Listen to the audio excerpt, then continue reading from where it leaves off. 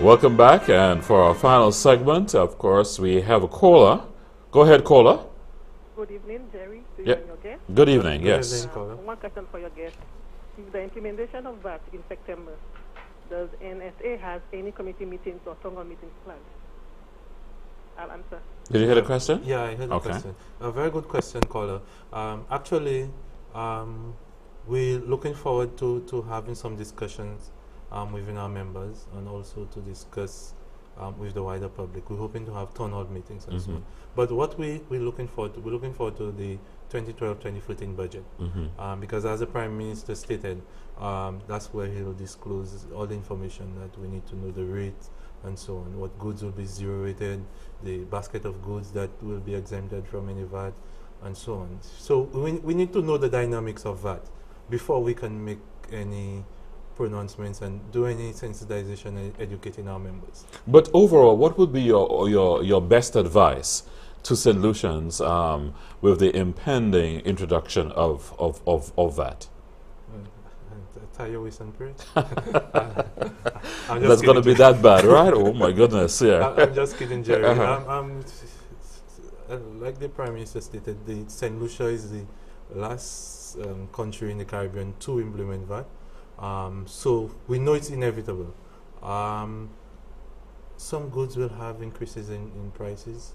Some may have decreases.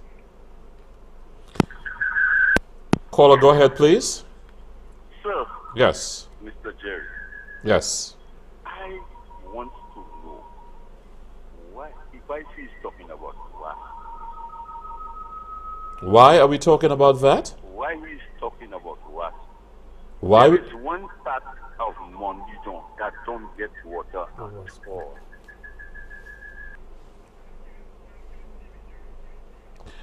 Yes, caller, caller. For us to for us to hear us better, for us to hear you better, you need to just turn down your uh, the volume on your television set, I'm please. doing, I'm doing that. Okay.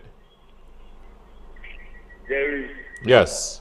You say there's a part of Mondido that does not get water. yes, Yeah. from Friday, from Wednesday, this part of Morne Du Don not getting water, from the school coming up, not getting water. And at any time you call, there's a lady answering, and she also saying, I will try to send some water. And people don't get water here. Why that is happening? And Well- everybody's paying a water bill. Well, that is Thank you, one. sir. thank you very much. That's one time I wish Clinton was here. But you happening, it's been happening for years. okay. And all lower down have getting water right down. But from the school coming up to reach Forgotten Boundary, not getting water. And I could call a gentleman named who is, working with Wasta, Wasco, Please don't. saying that parking is up there. and people not getting water there. From first day, people not getting no water. And that has been going on all the time. Okay, I think Mr. Antoine is here, and um, this your voice is certainly one that he's heard, and I, I think in his discussion with his panel, he can certainly look at uh, these related issues. But we run out of time right now, and I just want to say, Brandon, thank you very much for joining us tonight. This is an area that, of course, needs some extensive further discussion Yeah.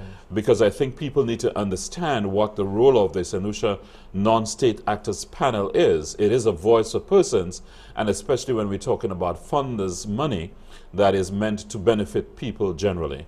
Any final comments? Um, certainly, Jerry, I'd like to thank the viewers for, for the calls. Um, most certainly, I'd like to thank you, Jerry, for inviting me. I think we've had a very productive discussion, and I'm looking forward to even more discussions on, on you know, whatever topics that we, um, we, we can discuss to really advance the cause of, give, give um, the vulnerable and the you know, ordinary man in, in society a voice. Yes, I think it's a voice that is really needed, and it is something that we need to explore more, make yourself be known more, Yeah. so that people can feel a certain level of confidence to ensure Yeah. that their voices are heard and heard in the proper um, sections of government, um, and to ensure that whatever is being done on behalf of the people is done so that it benefits the people. This has been Newsmaker Live. I'm Jerry George. I'll be back next week with um, sitting in for Clinton Reynolds. Until then, thank you for viewing. Our callers, thank you for joining us, and see you next week.